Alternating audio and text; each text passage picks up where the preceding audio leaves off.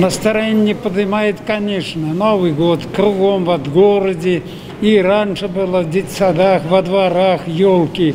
Елки приятно, Новый год встречаем в хорошем настроении.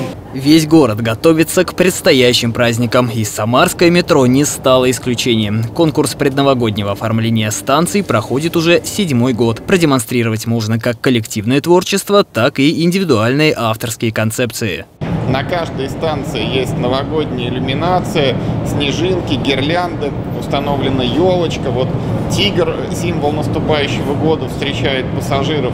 Все это создает праздничное настроение, чтобы человек с утра, отправляясь на работу, там куда-то по своим делам, проникался новогодней атмосферой. Саму идею по проведению новогоднего конкурса традиционно подали работники метрополитена. Они ежегодно обновляют украшения, многие из которых создают собственноручно. Практически на всех станциях появился главный символ – животное, соответствующее конкретному году по восточному календарю. Нет, это просто, чтобы пассажирам было приятно, даже и нам самим конце подводит итоги ведомственного конкурса и определяют фаворитов. Коллективам дарят призы и награждают грамотами. Так, в прошлом году самой нарядной была признана станция Кировская, сотрудники которой неоднократно становились лидерами этого конкурса.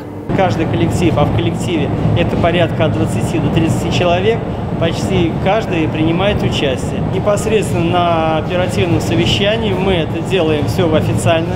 Э, дарим грамоты, дарим коллективам бытовую технику, которая очень востребована на станциях. Помимо метрополитена, другие перевозчики также приготовили новогодние акции и поздравления для пассажиров. В том числе в планах запустить новогодний трамвай с Дедом Морозом и Снегурочкой. Николай Гришечкин, Всеволод Кокарев. Новости губернии.